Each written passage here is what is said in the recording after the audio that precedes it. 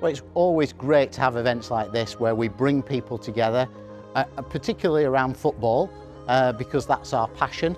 So it's great to have our manager here, it's great to have uh, one of our former players here, and of course a current player as well, and their engagement with the community.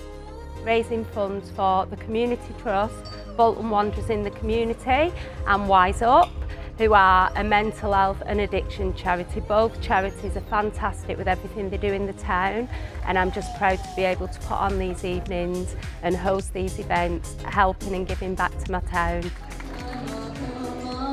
A football club is the heartbeat of every community and we want to build that connection with our fan base, um, build that trust and relationship and events like this go a long way to doing that. Really humbled to be invited to such an event and as soon as I was asked, I was, I was really glad to be a part of it. And uh, no, I think it's been a great night for a great cause. And I think there's been a lot of money raised. I think a lot of people have been very generous and, you know, long may that continue.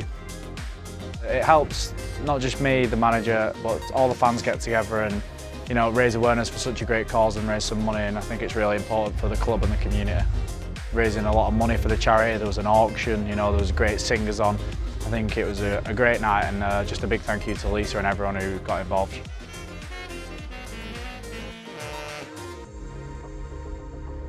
Every penny, and that's true for WHYSUP and Bolton Wanderers in the community, will go on the front line.